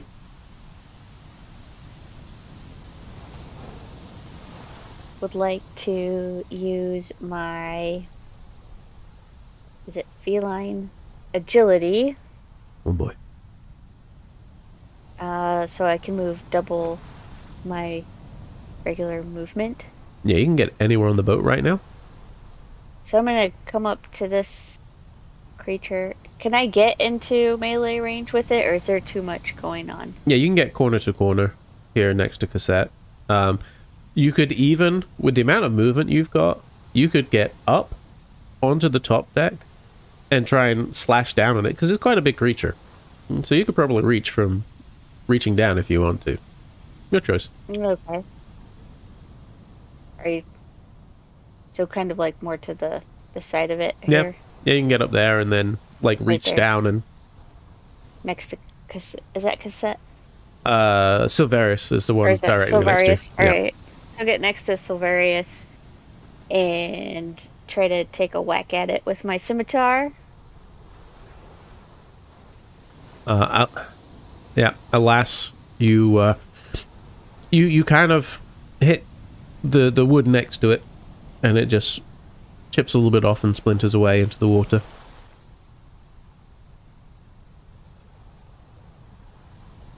Oh. Hey, you know what I just realized? Uh, no, it's fine. Carry on. Um, okay. Uh, Eska. Uh, Uh, ooh, I, I, I, um, here, make a, I just realized I didn't move you with the, uh, well, I can't, can't actually grab you at the moment. There we go. Make a, um, a dexterity check. Dexterity check, you say. Uh, I can make it a saving throw. That's fine. Oh, okay. I'll allow it. Oh, I think it's the same anyway. Okay.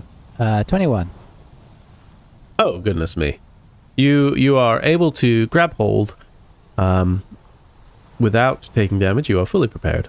And you are now standing at not so much the crow's nest as much as the crow's little hangout spot. Nice. I sort of uh, perched down there with just uh, crouched with one hand on there with as well, um, my other hand free, which I then point at the creature. And once again, ice begins to kind of project down it, and uh, it forms up into a ball in my hand and then projects out and is flung at it. And I will cast a chromatic orb at Ooh. third level. Oh. Um, Oh, so that's going to be That's uh, spicy. that go? Why did that not go? Did that? Oh, it did go. Okay. Uh, so let's see. I have to make a style ranged spell attack. You choose cold, obviously. Yeah, And then I know I shouldn't, but I'm going to. um.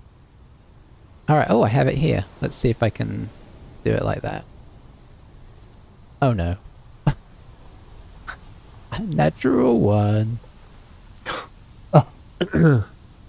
You you aim and unfortunately, just as you're about to release, Oh, uh, oh. Captain Adard Never Yes? mind. I was going to use something, but it doesn't work. Uh, sorry. Start again.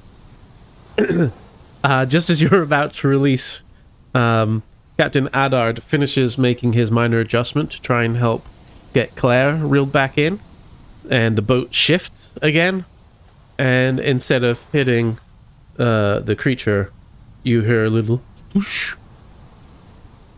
as your uh, giant ball of hail uh, disappears into the water. Just kind of shakes the, uh, the little flecks of ice off. Uh, that's she's going to stay up here. It's nice here. Okay. Um, Marka is going to come over here and take a swing with the bill hook. 5d12 damage, don't forget. At the critter. Was that imaginary damage? Yeah, a little bit. Um. Ooh. A palpable hit. How do I do the, the, the damage part? Okay. um, so yeah, uh, he is able to just basically swing it around like a giant club. Um, and uh, it doesn't doesn't look like it does a lot of damage in fairness, but he does he does help. Um, you, you you see it like wax into the back of the the creature, um, and it sort of. Uh, I mean, it's it, it there's there's a there's a new wound on the back, uh, and then Marka tries to run away,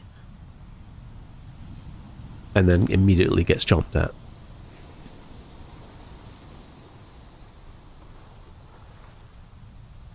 Oh, dear. Uh, that's a 21 to hit on Marka. A lot of piercing damage. Please hold.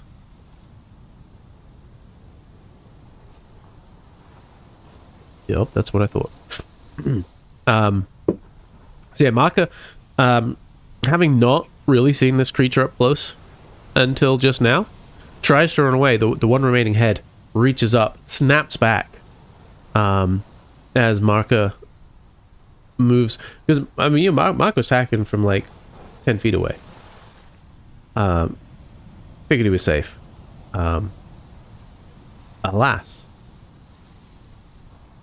Marka drops as this creature reaches up and just grabs him in the back and tries to pull him back down. Uh, actually does drag him five feet, but then gets stuck. Uh, Marka is uh, on the ground, bleeding profusely. Uh, Captain, for a second, thinks about moving away, but stays firmly in place, holding the wheel. Bahrdur.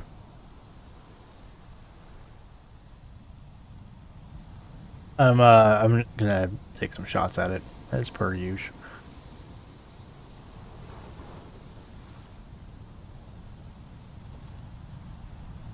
Uh, what was that? Uh, 15 to hit. 15 hits. Somehow, with a 2 on your d20, you have hit. I'm aggrieved.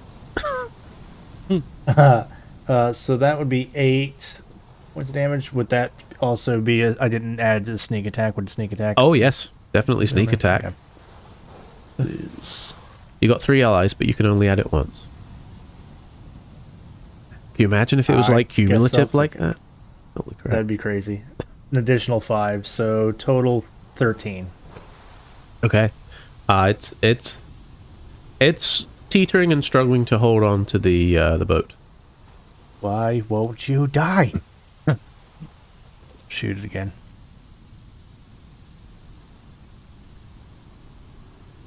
Uh, it's a 21 to hit It definitely hits. with uh, 13 points of damage on that one too.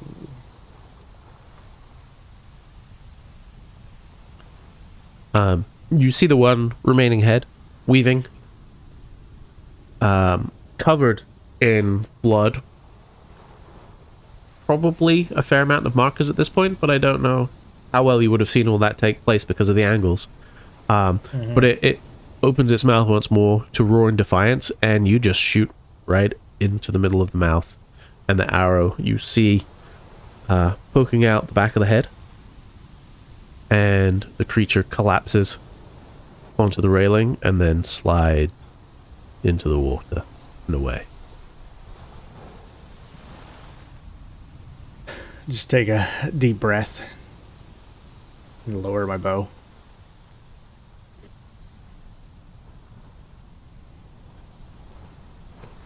Uh, Kedox do anything?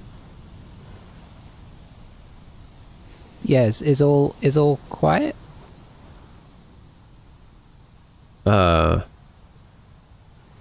Kedox. Relatively if there are no targets, he'll f- fly up and scan the area. uh, here, I'll just pop them in the middle somewhere. Uh, go ahead, give me um, a perception check. All right. Uh, Kedox perception. Uh, nine. Um, Kedox does not see a lot. What he does see is that the dolphins seem to have disappeared.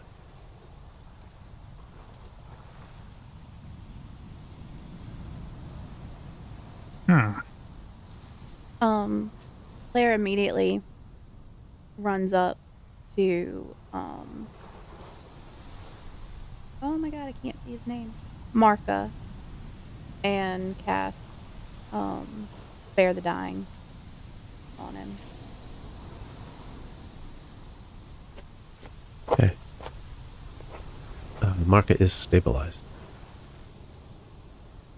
Albeit at zero hit points. Yeah, but no death. So, guess I would run over at the same time. If are we able to? Uh, you may do that, yes. Okay, uh, and I'll lay on hands for five hit points, I guess. Okay. Um, you see, as you do that, um, the warmth sort of radiating out of your uh, arm. see the wound uh, heal on Marka's back. And the uh, his eyes open and he looks around wildly for a second, looking for danger before calming again. Did we get it?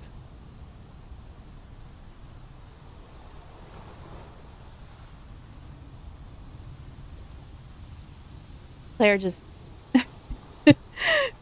Claire lets out a huge breath and nods and um reaches over and grips Cossette forearm and is um also gonna cast um cure wounds on her. Uh, es- Eska's just scanning from her position, just to make sure that there's no more noise. for 10. Um, Eska, make Claire. Eska, make a perception check, please.